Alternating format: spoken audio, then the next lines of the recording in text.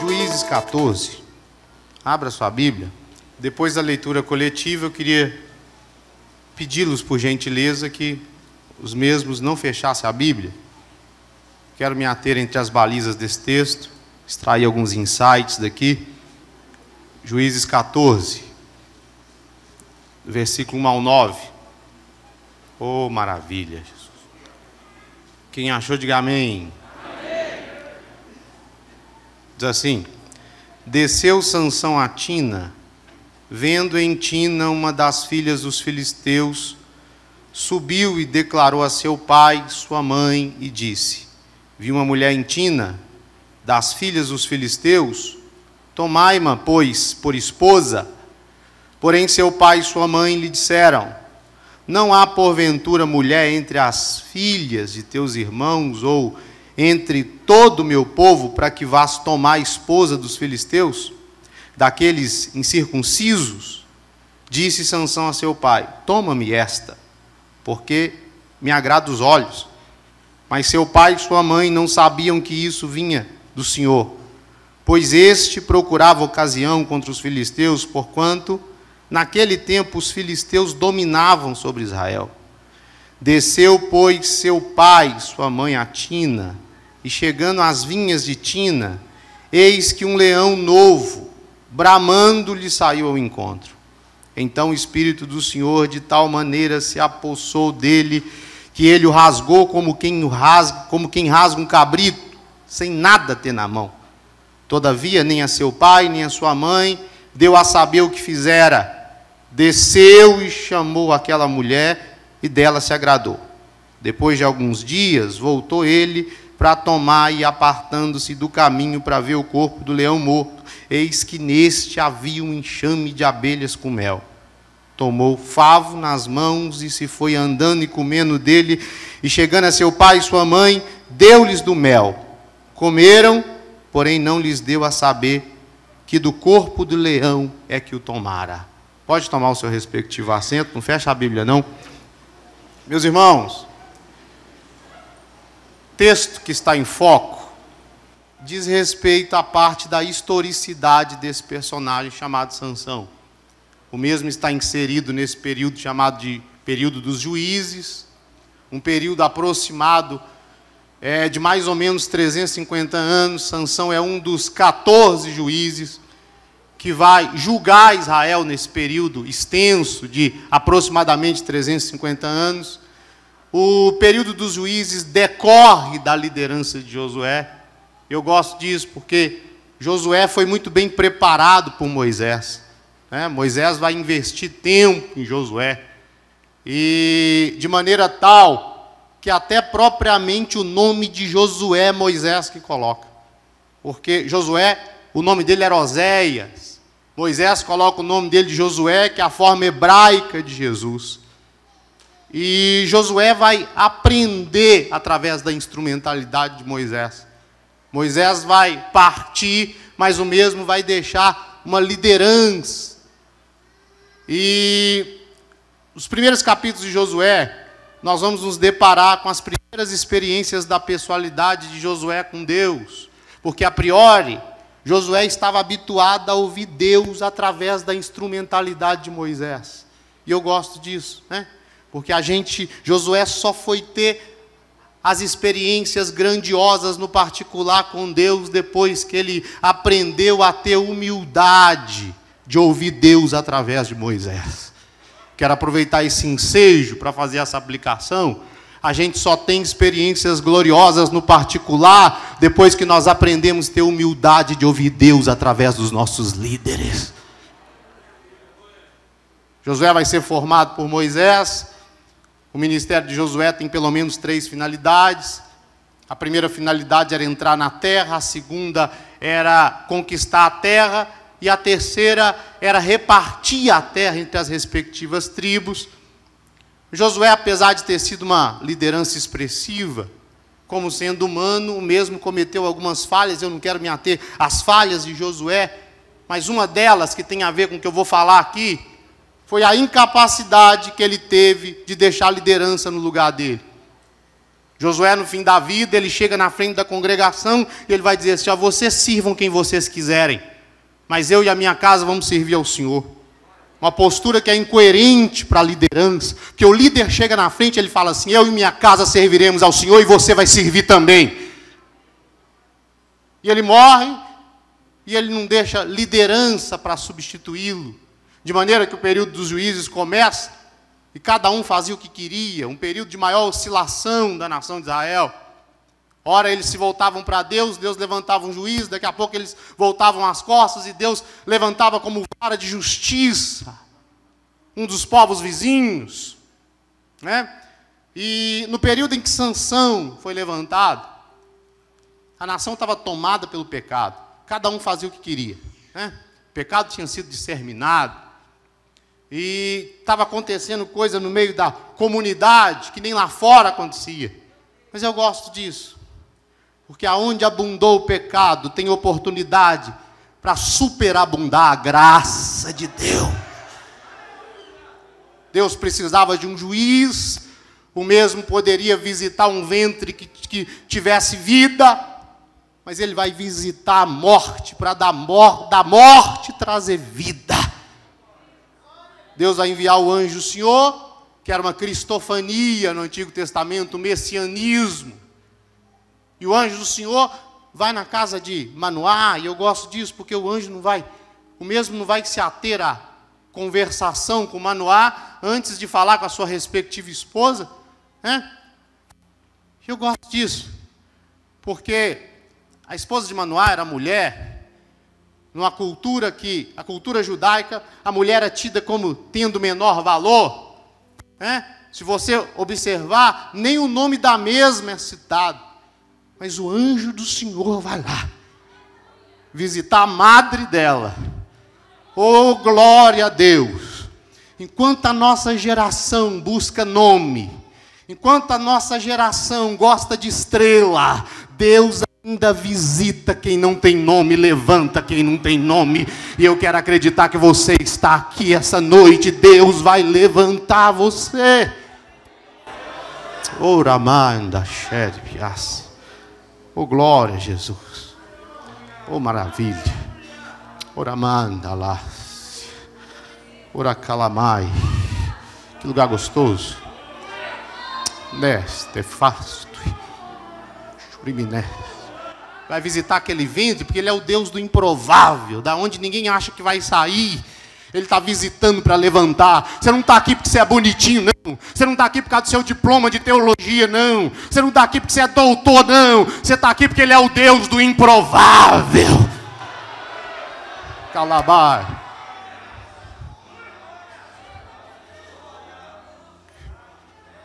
Que lugar gostoso.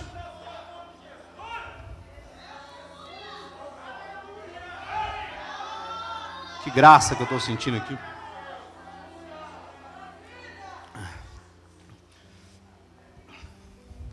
O anjo do Senhor vai visitar a esposa de Manoá, para abrir a madre da mesma. Sansão nasce. Com infinidade de privilégios, né? Pequeno sol. Sansão nasce com um chamado muito bem definido. Deus vai descrever de uma maneira muito minuciosa que ele seria levantado para começar a livrar Israel das mãos dos filisteus. Israel já estava sendo subjugado pelos, pelos filisteus, já tinha 40 anos. E Deus vai visitar a mãe de Sansão, abrir a madre, e Sansão é detentor de uma infinidade de privilégios. Né? Nasce com um chamado muito bem definido, tem uns pais piedosos, né? mas o mesmo não vai fazer jus a nada disso.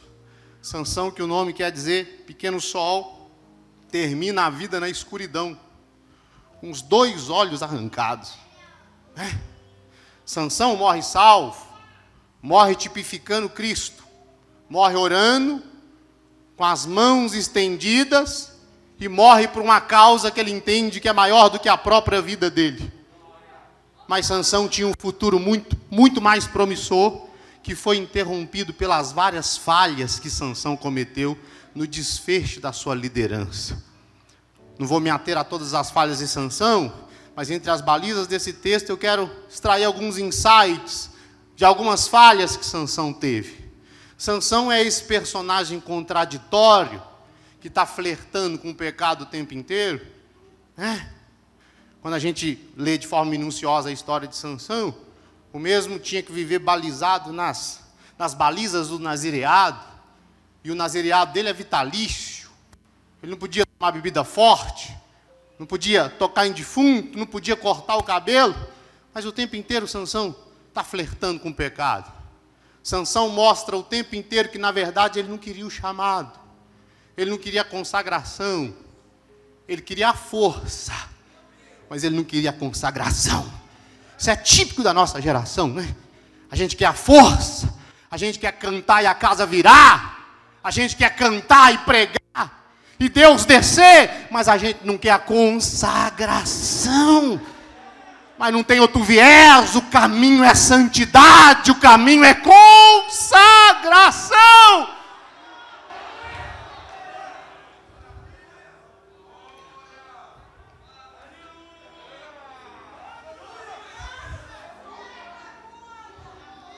Sansão vai brincando com Deus, né? E me chama a atenção porque Sansão vence mil homens com a queixada de jumento, mas vai perder para o colo de uma mulher. Sansão deixa o inimigo chegar tão perto que ele dorme no colo do inimigo, que era Dalila. Sansão vai deixar o inimigo chegar tão perto, a ponto do, de Dalila trançar o cabelo dele. E ele vai flertando, flertando, flertando. A primeira vez, a segunda vez, a terceira vez.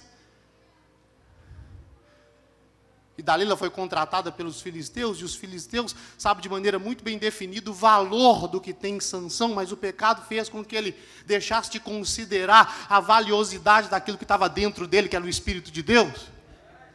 De maneira que cada sátrapa, Cada governador de província, os mesmos vão dar a cada um mil e cem ciclos de prata, para que Dalila seduzisse Sansão. Um ciclo de prata era o valor da redenção de um israelita. Eles estão dizendo assim: o que tem em Sansão vale 5.500 homens. Mas como o pecado faz com que a gente perca o valor disso que está dentro da gente? Vai mandar. Calabar. Churibiné como esse texto é pertinente. Nós vivemos esse período, né, que cada dia que passa, o pecado está caindo na normalidade. E o pecado é pior de todas as pragas. É. Engraçado que a gente tem medo do diabo e não tem medo do pecado. E o pecado é muito pior do que o diabo. Foi o pecado que transformou o diabo em diabo. A gente tem medo do inferno e não tem medo do pecado. O pecado é muito pior do que o inferno, porque o inferno só existe por causa do pecado. O pecado é tão pior do que o diabo que o diabo não pode te condenar. É por isso que ele vai te tentar. Você só pode ser condenado pelo pecado. O pecado é pior do que o câncer, do que a AIDS, do que qualquer doença degenerativa, porque nada disso te separa do amor de Deus, mas o pecado separa. A nossa geração precisa de bons teólogos, é a base da igreja. Nós precisamos de gente habilidosa na musicalidade cultica, mas o que a gente mais precisa é colocar o pecado para fora, para a glória de Deus voltar.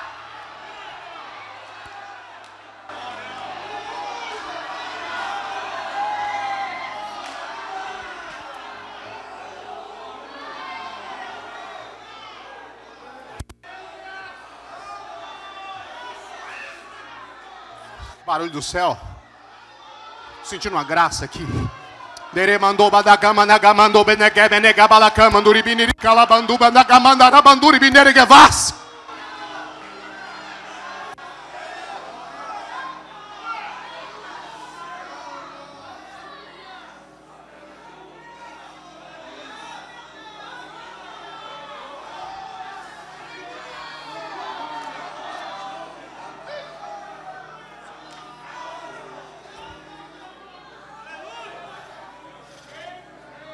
quarta vez ele dorme no colo de Dalila.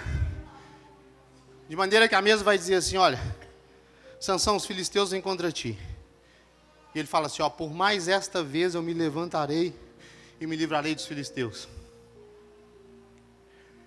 É triste isso. Quando a presença se esvai, quando a gente perde a presença, mas não percebe que perdeu a presença.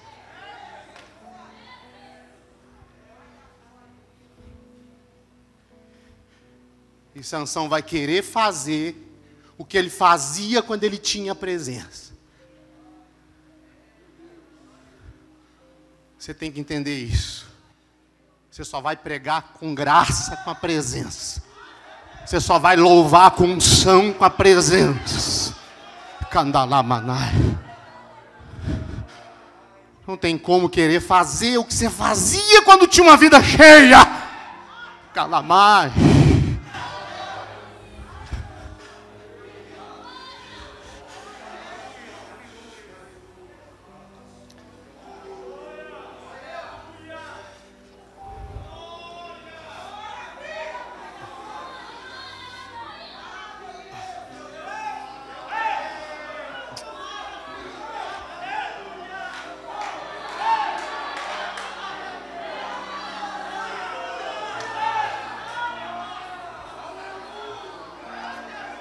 Me ajuda a pregar, vamos para o texto.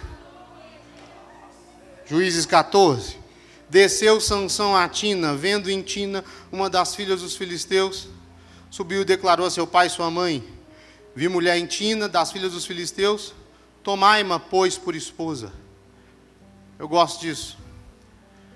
Terminologia que é usada aqui, desceu, descreve de uma maneira muito clara o que está acontecendo com esse homem, ele está descendo. Porque ninguém cai de uma hora para outra, a queda é gradual.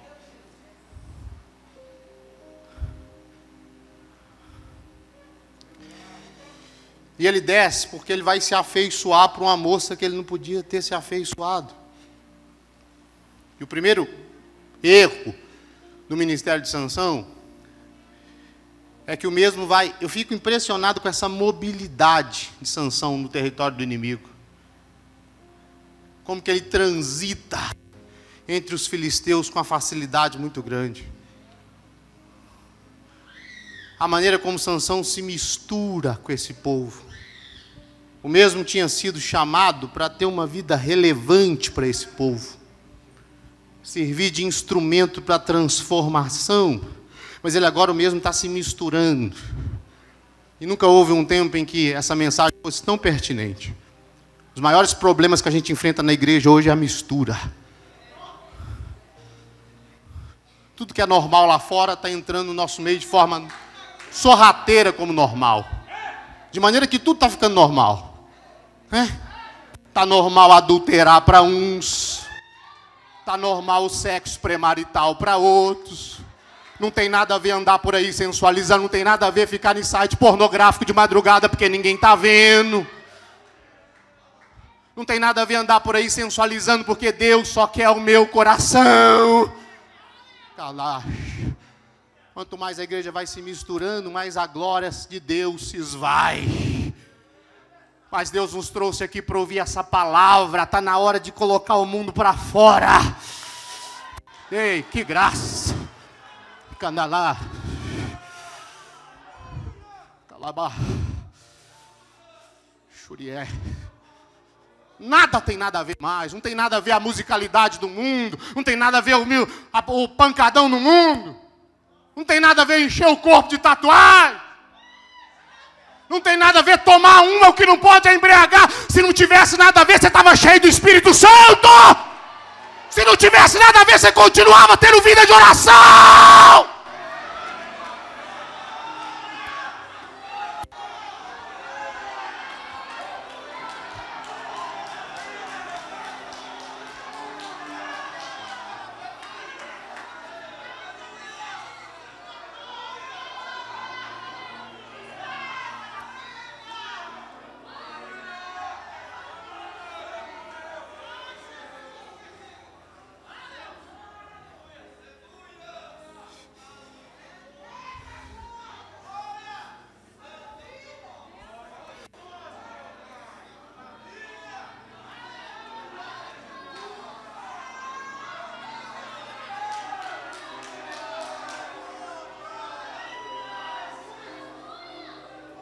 Que Deus gracioso é esse, pastor Neemias? A porta do pecado para a sanção era os olhos. Ele vai mostrar isso de uma maneira muito bem definida em várias situações na historicidade dele. E aí Deus arranca os olhos dele, que graça é essa?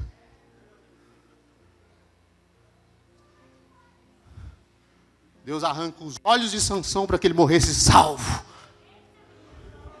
Eu não sei o que Deus vai precisar arrancar da sua vida para que você esteja salvo.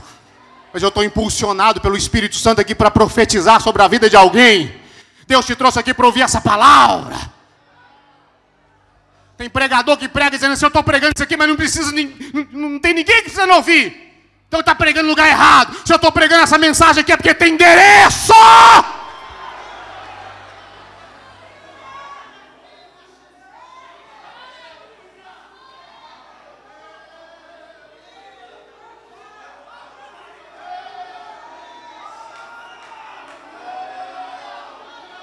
Eu não sei o que Deus vai precisar arrancar, mas Deus vai arrancar.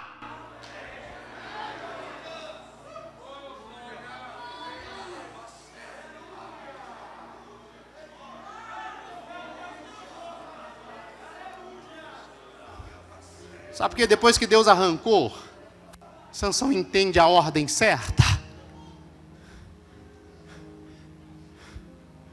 Depois que os olhos arrancam, o texto diz assim: ó, e o, eles rapam a cabeça de Sansão, arrancam os olhos, o texto assim, ó, e o cabelo de Sansão voltou a crescer. Que ele entende a ordem certa. Ele achava que primeiro era a força, depois a consagração. Agora ele entende, não, primeiro é a consagração, para depois o Espírito de Deus vir sobre mim.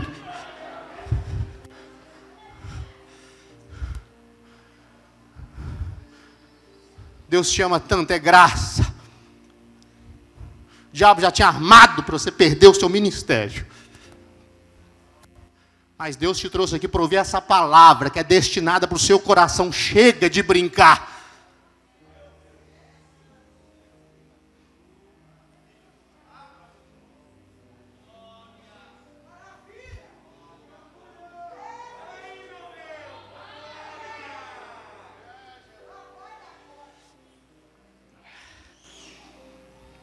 E aí o texto vai dizer: Porém, seu pai e sua mãe lhe disseram: Não há porventura mulher entre as filhas dos teus irmãos, ou entre todo o meu povo, para que você vá tomar esposa dos filisteus, daqueles incircuncisos? Disse Sansão a seu pai: Toma-me essa, porque me agrada os olhos. Mas seu pai e sua mãe não sabia que isso vinha do Senhor. Interessante isso aqui, né? Palavra de Deus não volta. Deus tinha dito: Sansão vai começar a livrar Israel dos filisteus. Deus queria usar Sansão. Mas Sansão vive essa vida flertando com o pecado. Como Deus não podia usar os acertos de Sansão, Deus vai usar os erros de Sansão. Como Sansão não quer destruir os filisteus na motivação certa, porque ele não está nem aí para o chamado, Deus tem que usar essa hostilidade que vai existir entre Sansão, que vai intensificar depois que Sansão se afeiçoou por essa moça. E o texto vai continuar dizendo, versículo 5: Desceu, pois, com seu pai e sua mãe a Tina, e chegando a Tina, eis que um leão novo, bramando, lhe saiu em conta. Eu gosto disso. Por duas vezes no texto você vai ver essa expressão se referindo a Sansão saindo do caminho e voltando para o caminho. Né? Isso remete para a personalidade de Sansão, um homem de alma dobre, né? Como se ele tivesse duas faces. Mesma hora que Sansão está cheio do espírito, está se deitando com a prostituta. E que mostra por que, que o mesmo tinha esse comportamento dúbio. Vivia essa dicotomização. Né? E isso é muito típico da nossa geração. Uma das marcas da nossa geração é essa oscilação. De maneira que tem gente que no domingo à noite está de pendurando no ventilador e na segunda-feira está capengando. Né? Essa vida que hora está em cima, hora está embaixo, hora está da quem, hora está da além. Está no caminho, está fora do caminho. Porque para que eu permaneça no caminho e tenha vida constante, né? Isso não depende de um pregador que vai vir não sei da onde para pregar. Isso depende do meu cotidiano. Do tempo que eu vou me ater diariamente para o aprendizado da palavra de Deus e o tempo que eu vou tirar para a oração. Márcia. Uma das marcas da nossa geração é a oscilação que a gente conceitua igreja em quatro paredes, a maioria só ora e lê Bíblia na igreja. Está inserido nessa era virtual. É, que a maioria, quando levanta, não, a prática não é orar mais, mas é pegar o smartphone para descer a timeline do Instagram, do Facebook, não ora mais. Vive essa vida com a intenção de projetar quem você não é. Que hoje a máxima é tem que tirar foto para curtir. E alguns ainda com fotos desnudadas. Quem tem que te curtir é Jesus. Está na hora de voltar para a palavra. Candaná. Pastor até enxerga você para te ocupar no trabalho de Deus. Mas ora você está bem, ora você não está mais. E tem alguém dizendo assim: é normal essa inconstância. Normal, meu irmão, é ser firme, constante e sempre abundante na obra. Vou profetizar na sua vida que você vai sair daqui constante. Oh, que coisa linda, olha. Oh, esse lugar tá gostoso. Fica andar lá. O diabo perdeu, ele achou que você ia continuar nessa vida inconstante fica andar, mas Deus vai impulsionar você aqui hoje. Fica lá. Você vai sair daqui para ter prática de oração.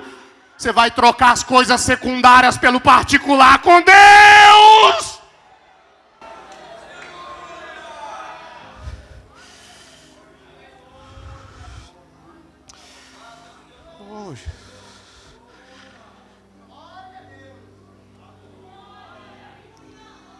Oh,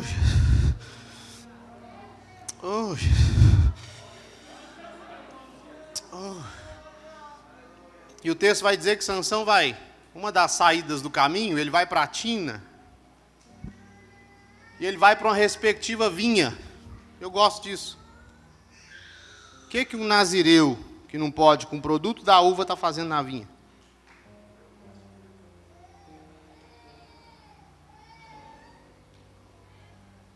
vinha lugar de risco.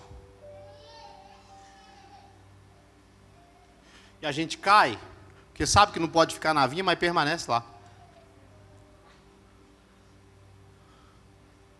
Sabe que a vinha está minando a sua espiritualidade, mas você continua lá. Essas alianças erradas é vinha, está esvaindo de você comunhão com o Espírito, mas você continua lá locais, locais frequentados, vinha, mas continua lá. Mas Deus me trouxe aqui hoje para dizer para você, uma mensagem profética para você, está na hora de sair da vinha. Oh, Jesus. Candamada. Aramai. Amigos que você contrai, seu ciclo de amizade, que é vinha. Tem uma máxima por aí, né? Que não tem nada a ver eu ter amizade com ímpio. E eu não sei mais onde fica o Salmo 1. O salmista vai dizer assim: Olha, bem-aventurado o homem que não anda, não se detém, não se assenta à roda dos escarnecedores, mas antes tem o seu prazer na lei do Senhor e nela medita de dia e de noite. É bonitinho, mas é ímpio é vinha, está minando a sua espiritualidade. Deus trouxe aqui para dizer: está na hora de sair da vinha. Está na hora de fazer uma limpeza. Está na hora de tirar da sua vida quem não deveria estar tá lá. Você vai sair da vinha para se ater àquilo que te edifica. Calamandarácia. Calamandácia. Precácia. Oh, Jesus, que presença. Oh, Jesus, que presença. Oh, Deus. Oh, Deus. Oh. Oh. Oh. Oh, glória. Que graça é essa? O texto vai dizer que um leão novo vai bramando, né? E o leão é providencial. O leão é um aviso de Deus para Sansão que o lugar que ele está é impróprio. Que vinha não é o lugar dele. Eu vim aqui como um leão para você aqui hoje. Chega de deixar isso minar a espiritualidade. Deus tem pressa em usar você. Oh, glória. Oh, glória. Oh, glória. Oh, glória. Aí o texto vai dizer que o Espírito do Senhor de tal maneira se apossou dele que ele rasgou, como se rasga um cabrito, sem nada ter na mão. Todavia, nem seu pai, nem sua mãe deu a saber o que fizera. E aí o texto vai dizer, versículo 8: Depois de alguns dias, voltou ele para tomar. E apartando-se do caminho de novo para ver o corpo do leão morto. Eu gosto disso. Sansão já tinha levado os respectivos pais para acordar o dote, né? E aqui já tinha passado mais ou menos um ano, que era o período do noivado. Sansão agora está subindo para casar, né? Eu gosto disso. Quem é que está subindo para casar e não leva nenhum amigo consigo? Só isso aqui já remete para a ideia que Sansão tinha rompido a comunhão com Deus. Porque se Sansão tivesse um amigo do lado, mesmo diria para ele: Sansão, o lugar que você está entrando é impróprio.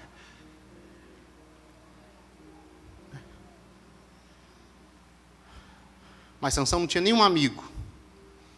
Isso já revela que Sansão tinha rompido a comunhão com Deus já tinha muito tempo. Ele sobe para casar e o texto vai dizer para nós que ele entra na vinha de novo. E aqui tem um erro que Sansão comete que é gravíssimo. Porque o texto vai, vai dizer para nós que Sansão ele entra na vinha, ele aparta do caminho para ver o corpo do leão. Isso aqui é um dos, dos erros de Sansão que é muito típico da nossa geração. Né? Sansão entra na vinha nutrido de vaidade, vaidade exacerbada. Ele entra para bater no peito e dizer assim: Foi eu que matei. E ele esquece que quem, quem matou não foi ele, foi o Espírito de Deus que estava na vida dele. Cadastro. Como esse, tem, como esse texto é pertinente para a nossa geração, irmão? Um dos pecados que mais tem acometido a nossa igreja, essa vaidade exacerbada, essa necessidade de mostrar que é grande, esse culto à personalidade da laçúria. Gente que chegou ontem, já quer olhar de cima para baixo como se fosse alguém. Essa disputa miserável para ver quem canta mais, quem prega mais e ninguém é nada, só tem um que é.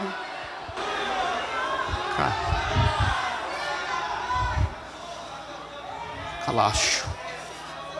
Labá.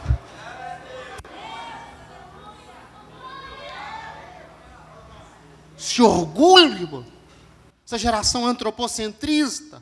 A gente é tão hedonista, a gente é tão vaidoso que a gente acha que até o culto é para nós. Assim, ah, eu vou lá na igreja para mim, eu vou dançar lá porque eu me sinto bem. Quem falou que o culto é para você se sentir bem? Quem tem que se sentir bem no culto é Ele. O culto é para Ele, a glória é para Ele, o louvor é para Ele. Tem gente fala assim: eu não gostei do culto, o problema é seu, o culto não é para você, o culto é para Ele, para a honra dEle, para a glória. tão vaidoso e tão sensorial que tem gente que fala assim: eu só vou dar glória a Deus se eu sentir. Vai continuar sem sentir. Você sentindo ou não sentindo, você existe para adorar. Está na hora de abaixar a crista. Ninguém é nada.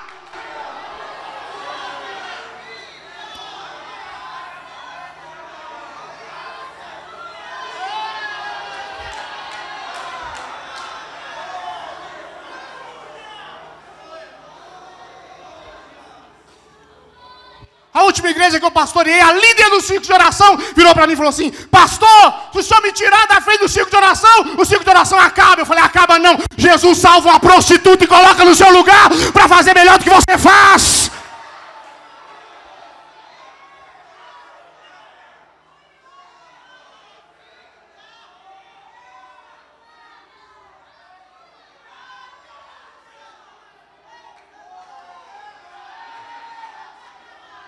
Que barulho do céu. Dá para levantar a mão e dar uns 10, glória a Deus. O céu tá baixinho aqui essa noite. Calabando, endurece. Para onde eu olho, eu vejo o crente cheio do Espírito.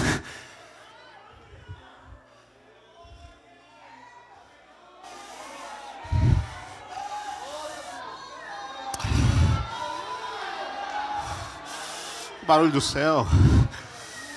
Calabar. Puricalabá.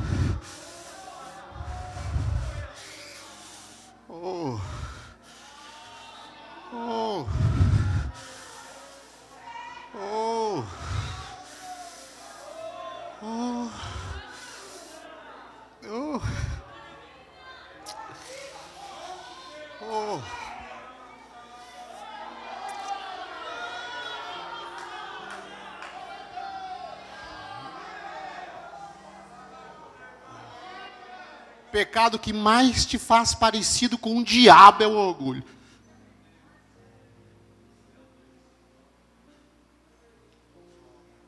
Só que você esqueceu de onde Deus tirou? Um alcoólatra, beberrão, drogado, Deus dá um banho de sangue. Aí porque faz um curso de teologia, acha que é melhor. Abaixa a crista, meu irmão, ninguém aqui é nada, só tem o que é.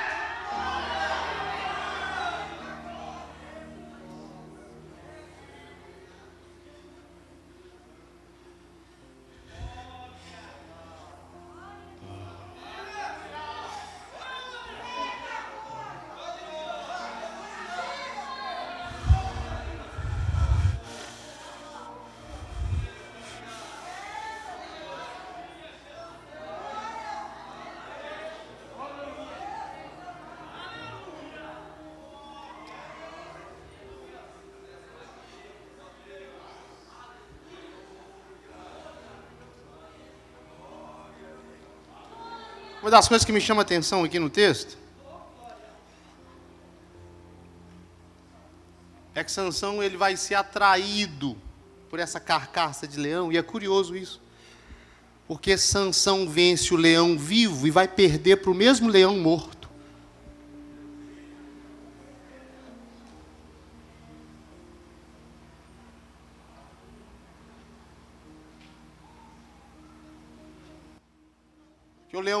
Morto tinha mel na carcaça. O mel não muda a essência, carcaça é carcaça. Mas o mel dá projeção de vida.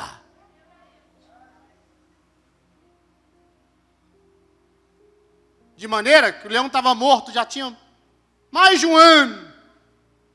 Mas tinha um mel projetando vida.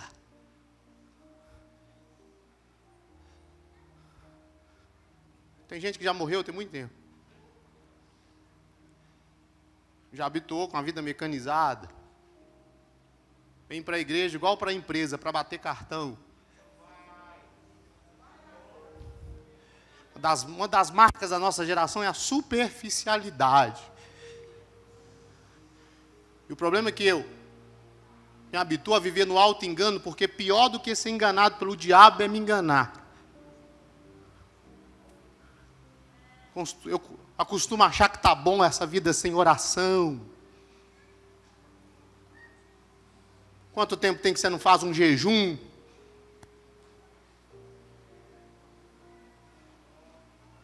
Deus tem saudade de gente aqui quando você levantava de madrugada. De tanto apetite que você tinha por Deus. Aquela espontaneidade que você tinha.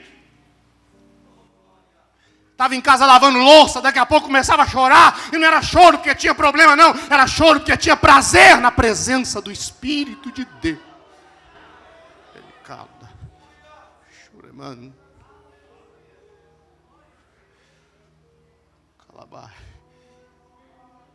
O tempo foi passando, algumas coisas aconteceram.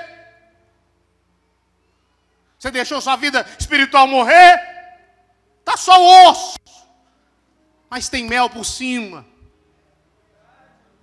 Culto tem projeção, tem performance, mas não tem vida. Mas Deus te trouxe aqui hoje, porque está na hora de picar o pé nesse mel. E Deus vai ressuscitar a gente aqui essa noite. Calabá. Deixa eu ver quem já está vivo aqui. Levanta a sua mão. Fica lá. Calabá, levanta, levanta, adora, adora enquanto você adora. Quem está do seu lado que já morreu há muito tempo, a presença que está da sua vida vai denunciar, Ecalai, e só tem mel por cima, Ecalamaná, mas eu já estou vendo Jesus ressuscitando aqui essa noite. Ecalamaná, seu ministério de rótulo vai voltar a ter vida, seu culto de projeção vai voltar a ter vida. Ah! Você vai voltar a ter aquele entusiasmo que você tinha na adoração.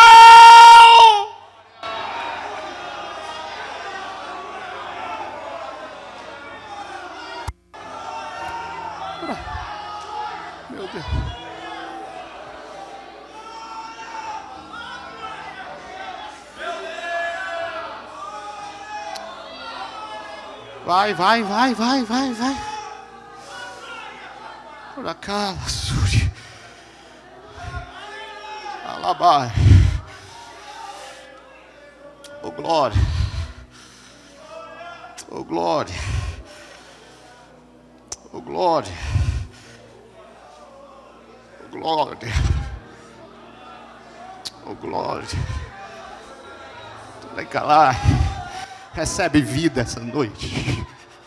Quanto tempo tinha que você não falava em mistérios com Deus? Lá, recebe do que está sendo derramado aqui essa noite.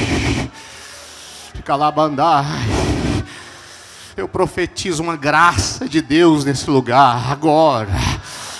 Você não vai conseguir reter a presença que está sendo derramada aqui. Aí, canto leste desde a galeria até aqui no púlpito, levanta a mão, levanta a mão, levanta a mão onde tem um crente vivo, recebe. Olha que coisa linda ver crente cheio do Espírito. Foi para isso que Jesus te chamou para estar tá vivo. Calamaná, é noite de picar o pé no mel, chega de viver de superficialidade. E calama, chega de viver essa vida rasa uma das marcas da nossa geração, essa vida rasa. Deus te trouxe aqui para ouvir essa palavra. Se prepare para um tempo novo de Deus sobre a sua vida. É tempo de vida profunda.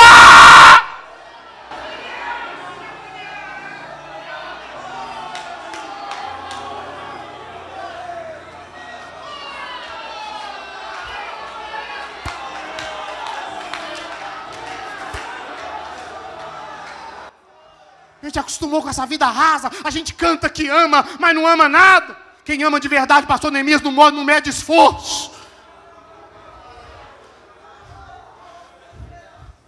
Se eu estou apaixonado, eu não tenho um automóvel, eu me apaixono por uma moça que reside a 40 quilômetros, eu vou de bicicletinha. Que amor é esse que você canta, canta, canta? mas não tem prazer de ficar uma hora no quarto com quem você fala que ama. Que amor é esse? Você não tem prazer na palavra dele. Chega, está na hora de vida profunda.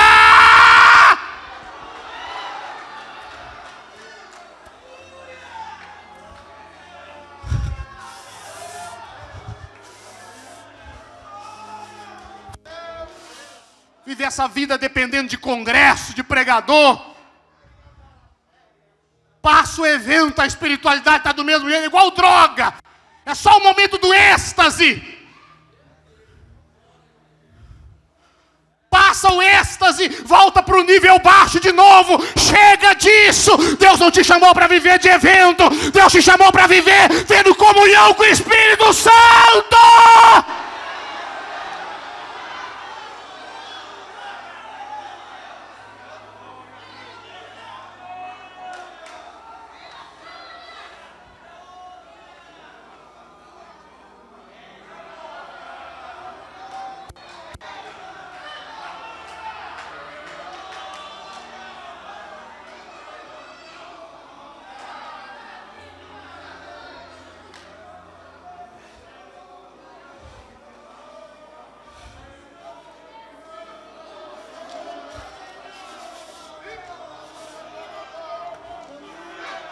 Estou sentindo uma graça de Deus aqui.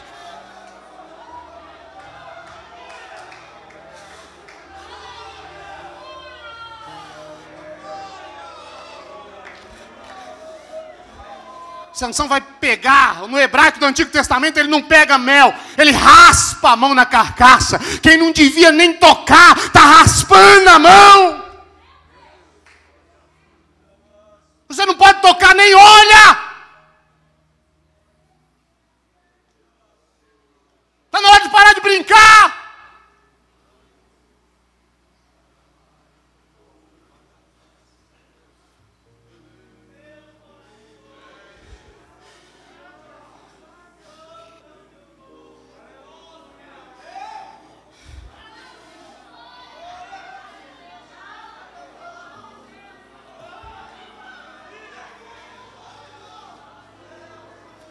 Ele toca, ao invés dele correr para o sacerdote para ser submetido a um processo de purificação, ele não está nem aí.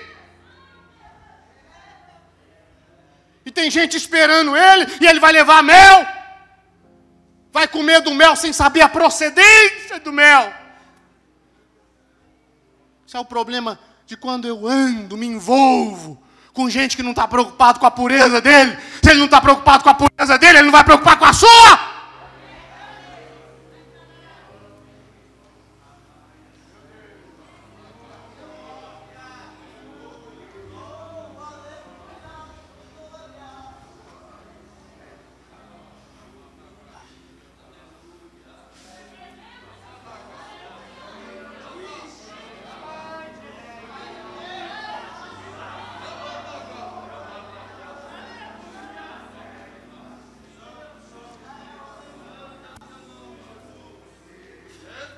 Comer mel, doce ao paladar, mas é veneno.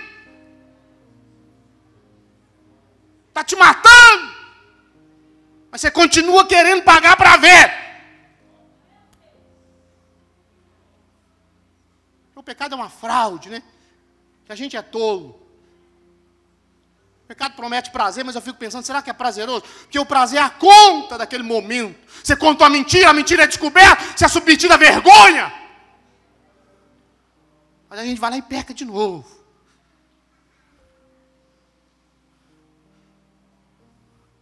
Tá doce ao paladar, mas tá te matando.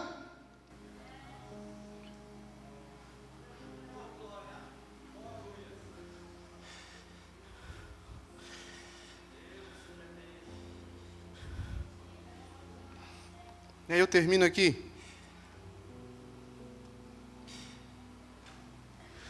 Ele sobe. E ele está achando que vai casar. Mas se você estudar direitinho, você percebe que ele não casa. Ele cria um enigma, causa uma confusão que era típico dele. Ele não casa. Mas também, né, irmão? Com a vida que Sansão leva, não tem casamento. Agora eu fico pensando em nós nosso noivo é muito mais exigente. O problema é que você vai flertando com o pecado, achando que ninguém está vendo.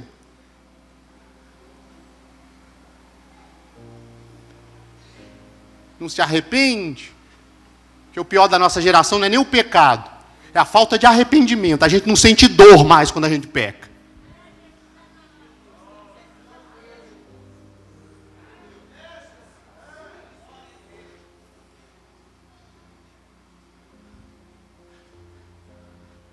Tem gente achando que está subindo para casar, mas o noivo é exigente. Pastor não está vendo, sua mulher não está vendo, seu filho não está vendo, mas o noivo está vendo. Calabai. Calachúria. Está na hora de acertar as contas. Está na hora de colocar para fora o pecado. Qualquer hora a trombeta vai tocar. Eu vim aqui para entregar essa mensagem profética para você. Eu não estou preocupado se você vai dar glória a Deus. Eu estou preocupado em sair daqui e dormir tranquilo. Porque Jesus está voltando, o noivo está voltando. E ele só vai levar uma igreja santa.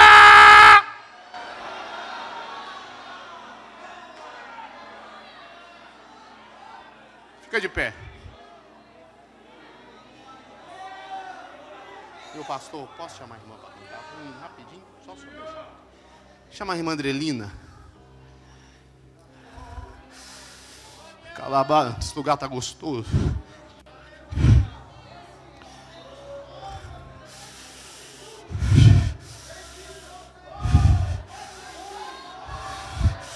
Que graça é essa? Calabar. Quem está preparado para o casamento está sentindo. Lá, estou vendo gente preparada lá em cima. Labando. Fica lá baixúria. O céu tá baixinho aqui essa noite. Fica lá bandar. Fica lá, momento de fazer uma introspecção. Deus falou com você que hoje. É noite de concerto. Aleluia! Chega de brincar!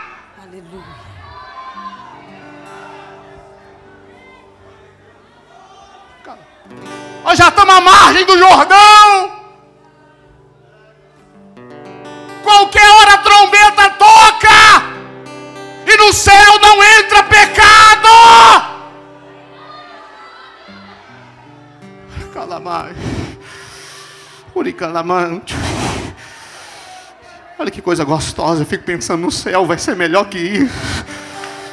Ah, que graça está sendo derramada aqui. Ah, que graça. Recebe o que está sendo derramado aqui. Vai, vai, seja mais cheio de Deus aqui hoje. Fica lá, maná, saia daqui, saia daqui cheio, preparado, vai. E quando você sair lá fora, a trombeta toca. Fica lá chegando aquele grande dia que o Espírito vai nos arrebatar e nós vamos encontrar com o Senhor nos ares para morar com Ele eternamente.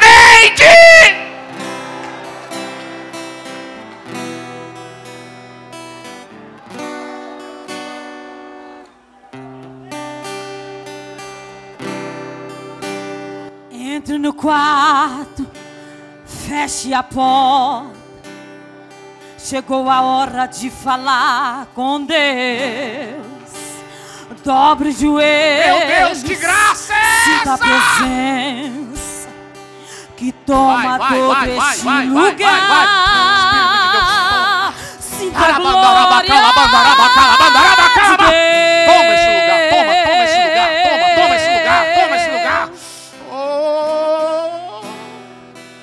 a glória do Pai.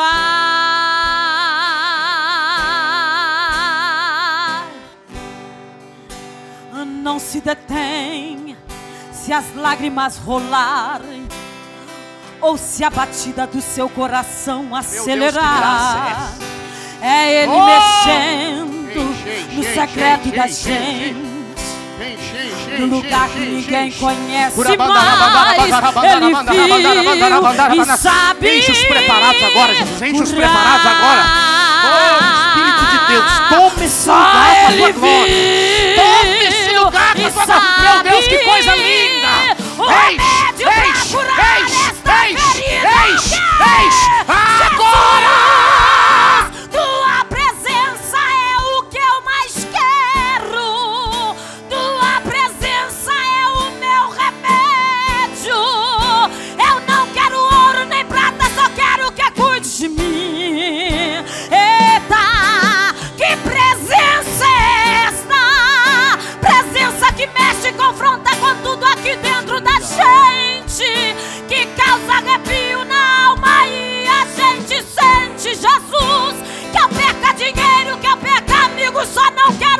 Perder